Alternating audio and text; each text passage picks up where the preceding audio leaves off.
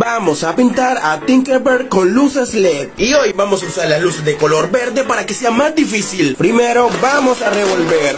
Empezamos con el color del traje que es de color verde, gente. Está un poquito complicado porque las luces son verdes y esto está muy difícil. Chicos, viéndolo muy bien, yo creo que podría ser este. Espero que no me falle. No puede ser. Esto parece de color azul. ¿Será que ya me equivoqué? Aprovechemos y vamos a pintar los zapatos que también son de color verde. Seguimos con el color del cabello que es amarillo. Yo creo que puede ser este o, puede ser este. Mejor me voy por este. A ver, si me equivoco, a la suerte no me importa. Y para terminar, seguimos con el color de la piel de Tinkerbell. A ver, yo creo que me voy por este. Espero que sea este y que el dibujo me salga bonito. No puede ser, este color se ve un poquito raro. ¿Por qué se ve así tan oscuro? Y terminamos. Veamos el resultado en 3, 2, 1.